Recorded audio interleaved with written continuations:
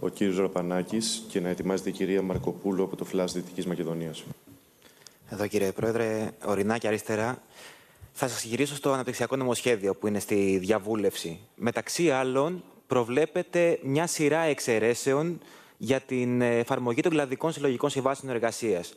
Ακούμε τα κυβερνητικά στελέχη να, να επιχειρηματολογούν ότι αυτό θα ενισχύσει επιχειρήσεις που έχουν οικονομικά προβλήματα, αλλά και στο τέλος θα είναι μια θετική εξέλιξη για τους εργαζόμενους. Γιατί εσείς και ο ΣΥΡΙΖΑ μιλάτε για επιστροφή στην μνημονιακή λογική και για νομοσχέδιο κόλαφο, όπως είπατε και χθες στην ομιλία σας; Γιατί μέσα σε δύο μήνες, κύριε Ραπανάκη, όλη την προσπάθεια που κάναμε και ήταν δύσκολη προσπάθεια διότι δίναμε μάχη με το Δουνουτού, με την Τρόικα, με κατεστημένες αντιλήψεις στην εποχή των μνημονίων για να επαναφέρουμε την εργασιακή κανονικότητα σχέσης εργασίας, να επαναφέρουμε τις λογικές διαπραγματεύσεις, τις κλαδικές συμβάσεις, την επεκτασιμότητα, να δημιουργήσουμε όρους και πλαίσια κανονικότητας σε ό,τι αφορά τις εργασιακές σχέσεις, να ενισχύσουμε το σώμα επιθεώρησης εργασίας, να καταγράφονται υπερορίες, Όλα αυτά, όλα αυτά γκρεμίζονται μέσα σε λίγους μόνο μήνες κατ' εντολή και καθ' υπαγόρευση του Συνδέσμου Ελληνικών Βιομηχανιών. Αυτή είναι η πραγματικότητα.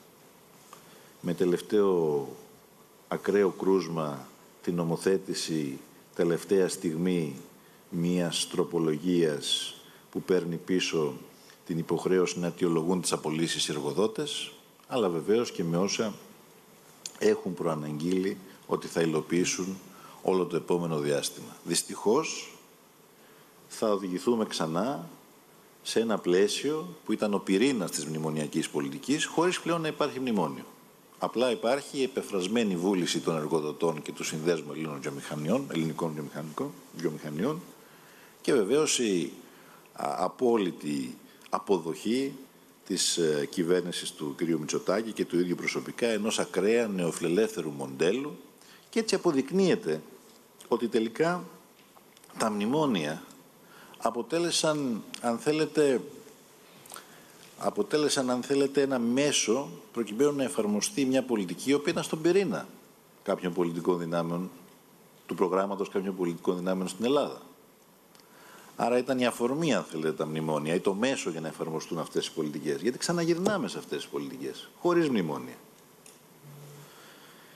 Και μπορεί αυτά τα οποία σας λέω εγώ τώρα να μην τα καταλαβαίνει πολλοί κόσμος που δεν ξέρει νομικά τι σημαίνει επεκτασιμότητα, τι σημαίνει ανάγκη αιτιολόγησης απολύσεων. Όμως πιστέψτε με, πολύ σύντομα ο μέσος εργαζόμενος θα τα νιώσει και θα τα καταλάβει πάρα πολύ καλά. Διότι αυτό θα οδηγήσει σε μια ασυδοσία, αν θέλετε, στον χώρο της εργασίας. Αυτό θα οδηγήσει και σε μια συμπίεση των μισθών, ενώ εμείς είχαμε ξεκινήσει σε μια πορεία αύξησης των μισθών με την αύξηση του κατώτατου μισθού και όχι μόνο. Και πολύ σύντομα η μεγάλη πλειοψηφία των εργαζόμενων, που προφανώς και δεν είναι ΣΥΡΙΖΑ οι άνθρωποι και μπορεί να πίστεψαν ότι η επιστροφή στην κανονικότητα ήταν μια γραμμική εξέλιξη που θα ερχόταν ούτως ή άλλως και μπορεί να ψήφισαν και Νέα Δημοκρατία στις προηγούμενες εκλογές. Πολύ σύντομα θα το καταλάβουν αυτό. Και πιστεύω ότι εδώ θα είναι ένα πολύ σημαντικό, όχι μόνο ιδεολογικό, αλλά και πρακτικό σημείο, α, όπου οι διαφορές μας, η διαφορά στρατηγικής μας συγκρούεται κάθετα, η διαφορά δηλαδή της στρατηγικής ε, του νεοφιλελευθερισμού με τη στρατηγική την προοδευτική που θεωρεί την προστασία της εργασίας ως προϋπόθεση για να έχουμε βιώσιμη και δίκαιη ανάπτυξη.